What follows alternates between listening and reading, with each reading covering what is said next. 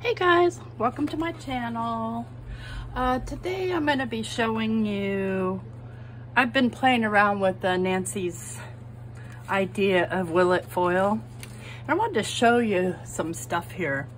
I don't know if you can see the foil sparkle in this thing, but that crafty Critta stuff will foil any embossing powder. So I stamped this out in a couple of different colors. There you can see the shine. And um, then I embossed it with clear embossing powder and it boiled. That's with the Crafty Critta, okay? This one, it's kind of hard to see foil, but it's here. And this one I had painted with the this oh, where is it? This shimmery goodness that I'd colored. And this is when the experiment started to happen because here I had um, clear embossed, no, silver, silver embossed, this little umbrella and the Crafty Critta foil stuck to the embossing powder, but not the um, shimmery goodness. Must have been because it was taller. But here's one. See if I can get it to do its thing. I painted it with the shimmery goodness and then I foiled it with the Crafty Critta. Ah, so cool. So, uh, and that's the Crafty Critta clear, clear. And so I started experimenting with what I had. And I have this Ranger sticky embossing powder. And so that's not where I started, but it's where I ended because I got the best result. This is, I just did it on black ink with clear embossing powder, with the sticky embossing powder. And I use deco foil. So I'm getting the best results with deco foil and you'll see that soon. This one, I experimented with the Ranger Copper embossing powder and the Creative Station uh, foil. Nah, it didn't work out that great. This one was with the clear embossing, uh, the sticky embossing powder and Technique Junkies um, holographic foil. Yeah, it didn't work out so well. I'm not having a lot of luck with the Technique Junkies with this method. Here's another Creative Vision. See, it overfoils. And this was with the sticky embossing powder. So the difference here between the deco foil, you get a lot more detail. And this is another deco foil with the sticky embossing.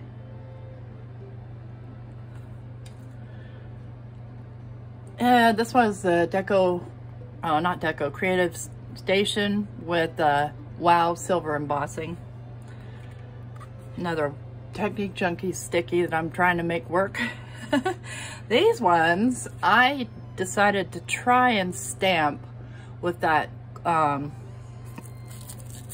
with the transparent gloss uh, Ranger texture paste.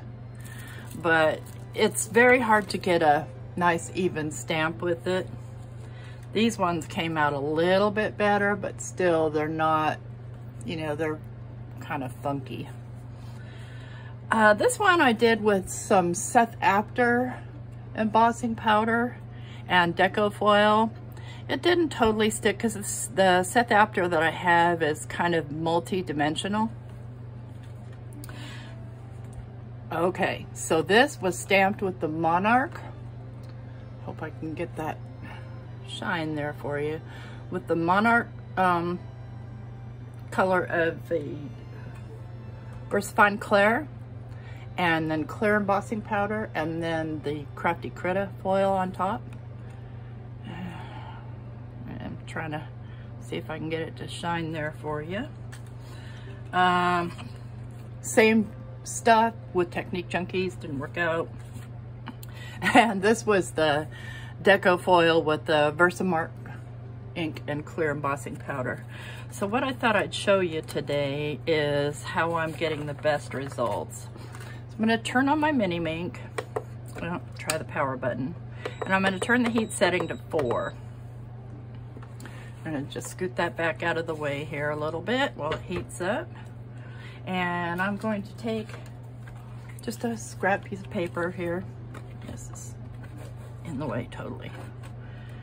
Take this scrap piece of paper here and I'm gonna start off with the clear and you can tell my Minc is already hot because I've been working with it. And this is a Tim Holtz stamp that I've been working with from the Flutter collection. And what I'm gonna do is I'm gonna first take my anti-static powder bag and make sure there's nothing because that sticky embossing powder is awful. It gets on everything. Then I'm gonna take my VersaFine Clair. I'm gonna warm up my heat tool.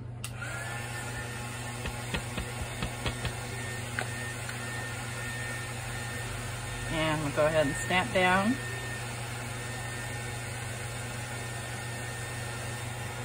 Get ready with my embossing powder here. And then I'm gonna go ahead and pour the powder on. Tap off. Clean this up right away because I don't want it all over everything. Oh, it's gonna get over everything anyway, but you know. Oops, got some of that stuff after in there. Whoopsie doo. All right, and let's go ahead and emboss this.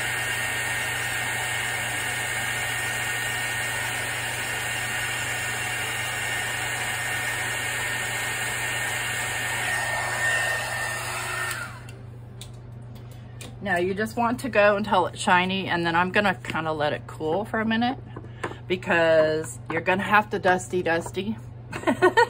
and you can see right here where it's, I got a little bit off there.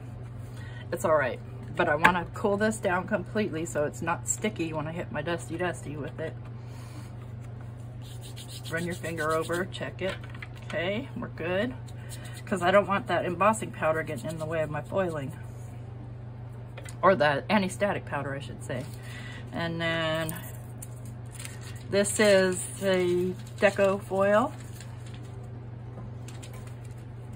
Cut a piece off. Hmm, let's go in the pink blue range here. And I'm also gonna dust this.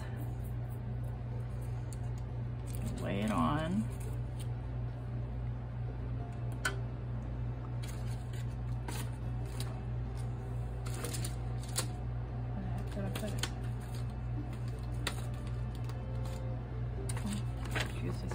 want to use this one, it's dirty. I got acetone, I just haven't gotten around to cleaning it yet. I'll go ahead and put it in my carrier sheet. Eh, get stay. I'm uh got a little static going on there. And I'm gonna run it through the Minc. And I'm gonna run it through the Minc, there we go. I had kind of a lot of fun trying to experiment around with that. Mainly I was playing start out with just playing with these um,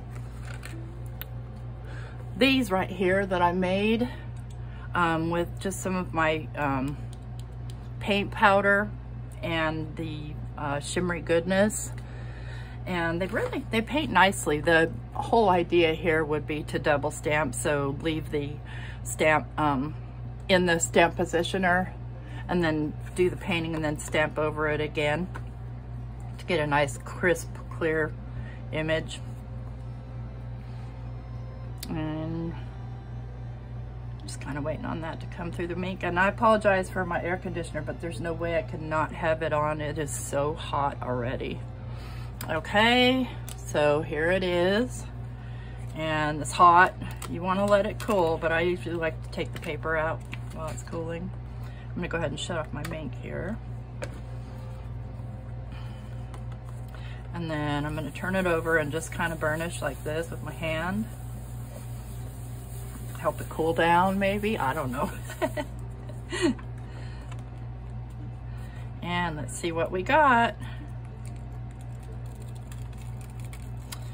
Yeah, it's not bad. I mean, that's a pretty detailed stamp. If you had, you know, a stamp that was just, you know, pretty solid, then you'd get some good coverage with the deco foil.